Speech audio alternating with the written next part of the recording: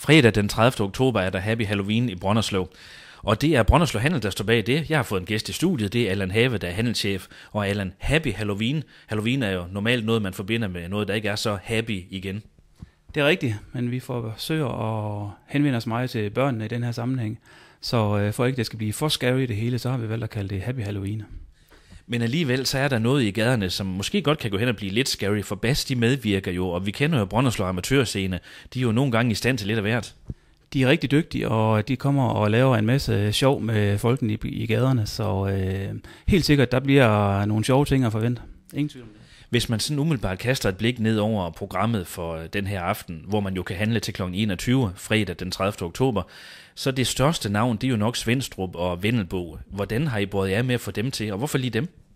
Ja, vi har jo en god, øh, med, et godt medlem i øh, foreningen, der hedder Hans Ending, øh, Larted and Life, og han har nogle rigtig gode øh, kontakter. Så øh, da vi snakker om, at vi skulle lave et eller andet specielt, det er jo en kold efterårsdag, så der skal også lidt andet ekstraordinært til. Så udover at butikkerne, de selvfølgelig har en øh, masse gode tilbud, så skal vi også have noget øh, god musik, og øh, han har nogle kontakter dertil, så det var den vej, det kom igennem. Og det er jo et stort øh, dansk navn. Øh, umiddelbart vil man måske nok sige, at det er det yngre segment, øh, som det henvender sig til. Jeg kan nu også godt lide dem. Hvad med dig selv? Jo, nu hører jeg også til den yngre generation, jo. så øh, jo, det er for alle aldre. Øh, det er rigtig hyggelig og sjov musik, øh, god musik, så øh, jeg er sikker på, at øh, det kan være lige fra de yngste til de øh, lidt ældre når man skal skrue sådan et øh, program sammen, som det jo også er, øh, når man skal lave et arrangement som Happy Halloween, hvad er det så først og fremmest nogle parametre, man kigger på? Hvad har du gjort for, at det skal blive en god aften for alle? For I skulle jo gerne lukke mange forskellige mennesker til.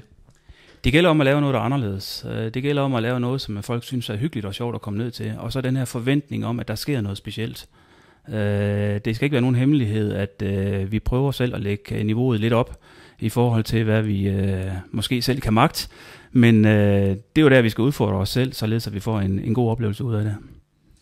Og sådan en øh, fredag aften øh, i oktober, normalt så har man jo haft tradition for i Brønderslev i hvert fald at lave de her open by night arrangementer nogle gange på torsdag. Hvorfor er det lige fredag den her gang? Jamen det ligger sig jo til, at øh, Halloween er jo den 31. Så øh, vi skal heller ikke alt for langt væk. Øh, det klarer alle de andre butikker rundt omkring i Danmark. Øh, så øh, det har været en fælles beslutning for hele Handelsdagsforeningen, at det skal være en fredag, således at vi kan hygge os og så have en god lang aften, øh, uden at folk de skal øh, op og på arbejde dagen efter. Du er jo handelschef i Brønderslev Handel. Har du gjort noget specielt for at motivere til, at forretningerne kommer på banen på en bestemt måde? Halloween, det er jo noget med græsker og lidt øh, uhyggelig stemning er til. Ja, vi har gjort det på den måde, at øh, vi har bestilt en masse græskar, som vi får øh, langt størstedelen af SFO'erne til at skære ud for os.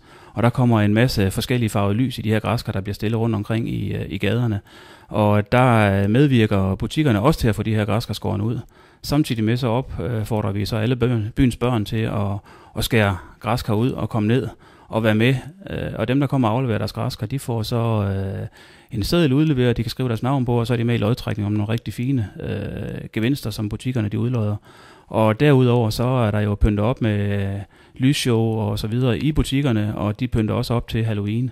Øh, det kunne også være, at der er nogen af dem, der fandt på at klæde sig ud, så øh, det er overraskelse, der skal der til, og jeg er ikke i tvivl om, at det bliver en øh, fantastisk aften. Og de her græsker, du nævner noget med nogle lys, det bliver mange forskellige slags lys, som kommer til at lyse op i Brønderslev den aften.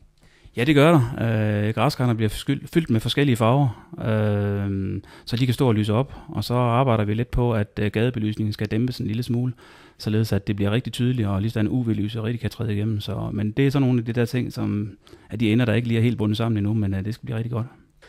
I har et samarbejde med byens øh, skolefritidsordninger, SFO'erne. Hvordan har I øh, båret jer med det? Var de positivt stemt med det samme til at deltage? De fleste har været positivt stemt, eller det har de faktisk alle sammen. Det er ikke alle sammen, der har haft muligheden for at kan være med, øh, grund af at de selv har nogle andre traditioner på det her tidspunkt. Men jo, de har været meget velvillige, både dem og dagplejerne også. Øh, så jeg er sikker på, at øh, de vil også være med til nogle af de arrangementer, vi skal lave fremover. Og så bliver der en Halloween-café i Brønderslev også. Hvad sker der i den? Ja, i Halloween-caféen, som er i det gamle øh, buksen, der øh, bliver det hele øh, lagt om til en rigtig hyggelig, uhyggelig øh, café med øh, salg af drikkevarer og hyggelig stemning. Og så kommer Café Cox ind og laver noget øh, heksegryderet eller en eller anden stil, så øh, de kommer til at sælge noget mad derinde, så der bliver mulighed for at, at varme sig lidt også. Og der blev helt sikkert mange gæster fra Brønderslev. Det er jo altid velbesøgte arrangementer som øh, Open by Night og i den stil. Men I vil selvfølgelig også gerne have lukket nogle folk til udefra. Hvis du sådan skulle sælge varen øh, til folk, der sidder i Pendrup, Kås, Saltum, øh, forskellige omegnsbyer, som I også gerne vil lukke til Brønderslev. Hvad er så årsagen til, at de skal køre til Brønderslev netop den fredag aften? Ja, udover de mange gode tilbud i butikkerne, så er der selvfølgelig også mulighed for at opleve en stemning i byen, som man ikke oplever normalt. Så øh, god musik og god stemning, og så øh, bas, der lige giver prikken over i med nogle øh, øh, små folk, der løber rundt og klædt ud og prikker folk på skulderen og laver lidt sjov ballade. Så jeg er sikker på, at det bliver en rigtig god aften. Og om priserne i butikkerne, bliver de hyggelige eller uhyggelige? De bliver uhyggeligt hyggeligt gode. Vi siger tak til Allan Have, som altså er handelschef i Brønderslev Handel, og det foregår altså Happy Halloween 2015, fredag den 30. oktober.